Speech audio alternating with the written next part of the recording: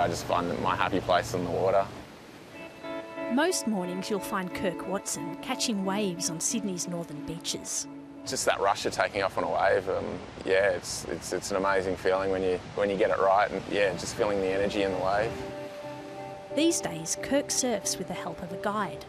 I was about 30 when I um, really started to struggle with eyesight. I've got retinitis pigmentosa, so it's a degenerative condition. So over over a period of time, you lose your uh, night vision, then your peripheral vision, then your central vision. Kirk doesn't let being blind hold him back. The guides are really good. They, you know, point me in the right direction, and then once I start paddling, I can't really hear them anymore. And then, yeah, sort of jump up, and it's almost like muscle memory. You sort of, you know, your body knows what to do. Kirk is also one of 16 crew members attempting to sail from Sydney to Hobart in the world famous yacht race later this month. See you. Bye. He's part of a not for profit, volunteer run organisation called Sailors with Disabilities, founded by former businessman David Pescud 25 years ago. Today, the crew is training on Sydney Harbour. Understanding a job is safe sailing. This is my boat. I, I built this boat in 2000 for disabled people. It has you know, a lot of ergonomic sensitivity towards disabled people. Sailors with Disabilities was partly inspired by David's own experiences with dyslexia. Because of my dyslexia, I always had uh, an interest in how we treat the differences in our society. Um, I don't think we do a very good job. I've been possessed now for 25 years by making changes in society and letting kids with uh, disabilities become better than they thought they could be. Kath? Yeah? More alcohol when you're ready. We're in Sydney Harbour. I mean, any day you're in Sydney Harbour is good. We got 20 knots of breeze or a little bit under. There's the bridge, there's the harbour, there's the opera house.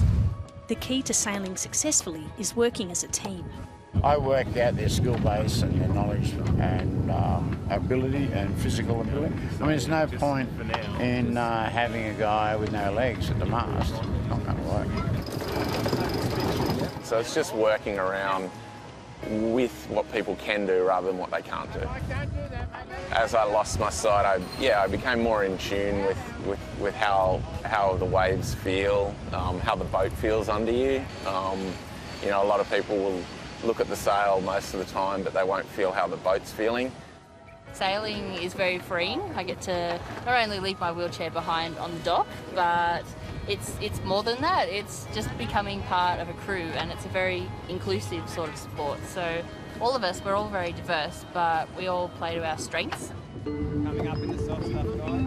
Brett Pierce has sailed the Sydney to Hobart six times. This year he'll share the skippering duties with David Pescud.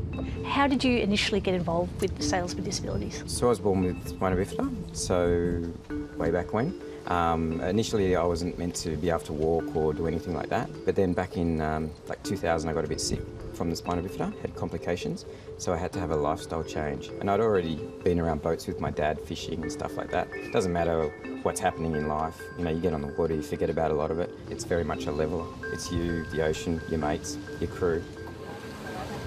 Brett believes the crew has what it takes to complete one of the world's toughest yacht races.